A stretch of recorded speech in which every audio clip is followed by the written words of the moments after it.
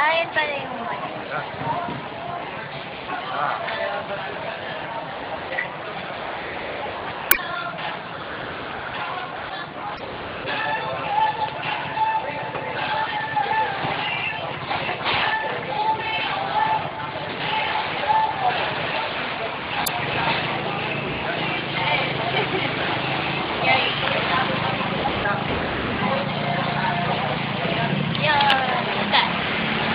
đợi Hả?